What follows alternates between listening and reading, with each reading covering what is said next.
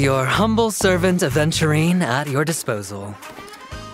Oh boy, this guy looks so good, doesn't he? Aventurine is an imaginary preservation character. His kit is not only to keep the team alive, but is also to increase crit damage received by the enemy. First thing first, as usual, I hope this video will help you fellow free-to-play and new players. If you spot anything I missed or mistake, just mark that comment below and thank you.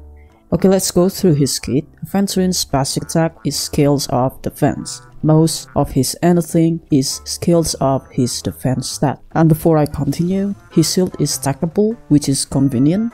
Technique is another gamble to obtain defense bonus for all teammates for 3 turns, with the highest bonus is when the 3 spades show up. We can reroll it indefinitely, so long as we have technique points, until we get the highest defense bonus we desire, and if we happen to accidentally click his technique again before entering battle, the status remaining is the highest defense bonus that we previously got. We can check how much defense bonus is active by tapping U for PC or clicking the status effect above the team line up. And then his talent is connected with his traces or ascension bonus effect and the effect that I will mention only actives on teammates that have fortified wager or shield that specifically provides by a Aventurine.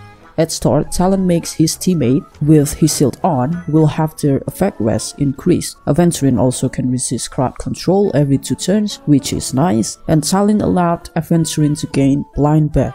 Blind bet can be obtained when teammate with his shield got hit, when Aventurine got hit, and then maximum 3 stacks in one Aventurine cycle or turn when teammates launching follow-up attack.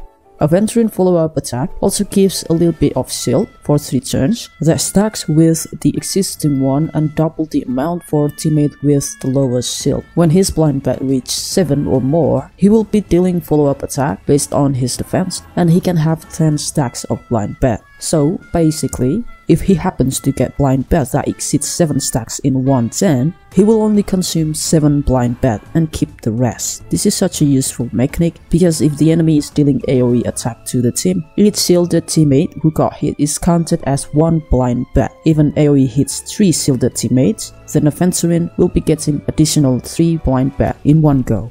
Bonus traces leverage, every 100 defense above 1600 will increase his crit rate by 2% up to 48%, which means we will need around 4000 defense stat on Aventurine to max this up and make Aventurine deals decent damage. Another bonus traces is Hot Hand. When battles start, teammates will get Fortified Wager or Shield that is equal to the one that provided by his skill. This is very nice, we don't have to activate his skill to get his shield in the beginning of the battle. Aventurine's ultimate can give random amount of blind bet from 1 to 7 and can apply unnerve for 3 turns to the enemy and if teammates attack the enemy with unnerved on them, they will receive increased crit damage. If he happens to play with Acheron, his ultimate unnerve is counted as debuff as well as the affix from his light cone that can help Acheron stack Slashed Dream and increase her crit damage. Almost forgot to mention this. For Aventurine support level up priority, we can go with skill, then ultimate, and talent. As for basic attack can be left on 1 or level it up 2 as you desire, as you want it to be. Okay. Oh wow, that was rather quick but completed, but I don't know if I missed anything once I finished this voice over. From this alone, we can see that the best stat for him will be a defense stat. And as for the affix from relics or planar ornament will be depends on how do you want him to be. One more speed, one more ERR for faster ultimate charge, or just stick with building up his defense. Aventurine build his relics and ornament are focused on defense, crit and speed, with defense body, sphere, rope, and speed boot. Without his signature light cone, we will need to go all defense main stat to reach 4000 defense except for the boot as it best to put speed boot on him. But we can get away with crit body or imaginary sphere by using his signature light cone, of course with substat also adjusting to get the best overall relic stat for Aventurine. We can be picky, but for sure 4000 defense and over 130 speed or 134 is what we are aiming for. Speed boot can be swapped to defense if there is a speed buffer in the team, such as Ruan Mei, while the substat already have enough speed roll. But if you want your Aventurine to be speedy to get ultimate and turn faster, then speed boot is way to go. Speed boot is for consistent turn, skill point generation, CC refresh, energy regen for ultimate and higher, chance to shield up, but if already have enough speed from substats roll, then defense boot is way to go for more tanky shield and overall Aventurine damage. With enough speed, use defense rope instead of ERR for thick shield and better damage output. Relic set for Piece of Knight of Purity set is a good pick for a stronger shield or mix the set of these two Piece of Knight as Blazing, Messenger, and always Lander if you are still adjusting the defense factor, speed factor, damage factor, or overall stat for Aventurine. For his planar ornament, Inert Salsotto to raise his personal damage output is viable. This is the best he can use if the defense and speed roll is already sufficed. Broken Keel to gives the team crit damage.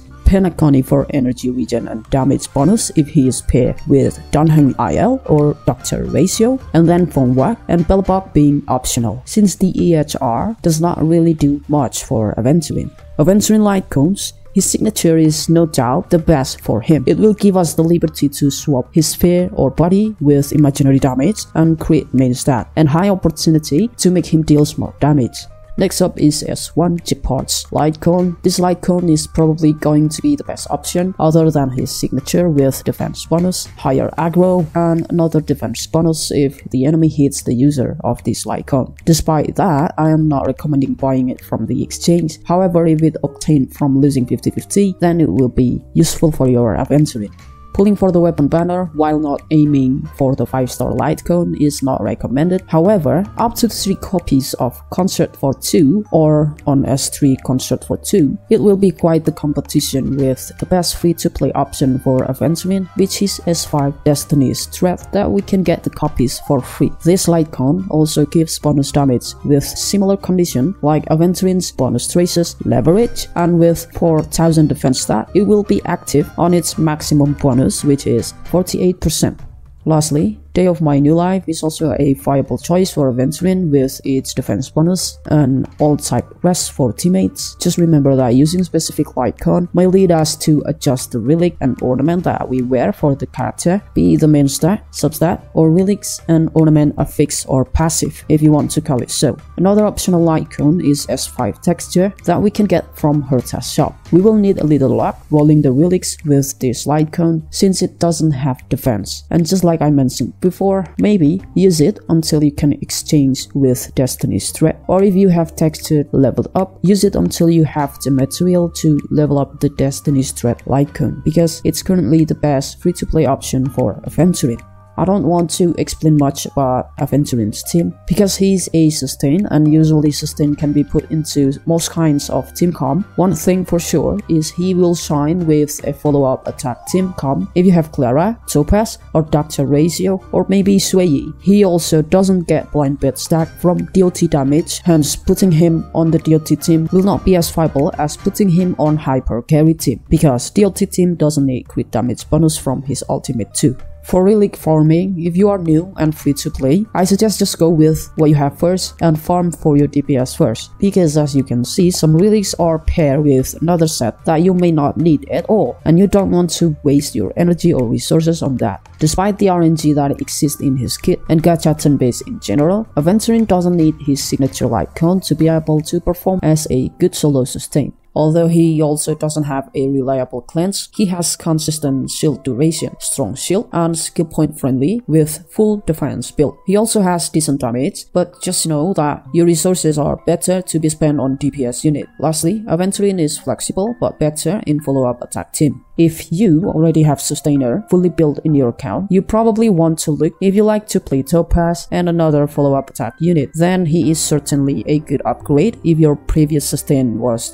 Gepard, Bailu, or Natasha. But if your account consists of DOT team and traditional hyper carry team, Know that he will not gain blind bet from DOT and probably slower blind bet stack from Hyper Carry Team. Also, Hyper Carry Team tends to kill them up so fast and doesn't need that much of a healing. And it will be a waste of energy to farm for sub DPS Aventurine and it's best to farm for fully sustained stat Aventurine. Other than that, once again, Hyper Carry Team usually killing them up faster and doesn't need that much healing and Isildur will be appreciated just like Trailblazer since Acheron came out but if you don't have a 5-star Harmony, I suggest you think twice before pulling because Robin is coming and because Gallagher and Lynx are still viable. Okay, I hope this video was nothing but helpful. Good luck on your pull. Thank you so much if you made it this far. Stay hydrated, be kind, and have a good one.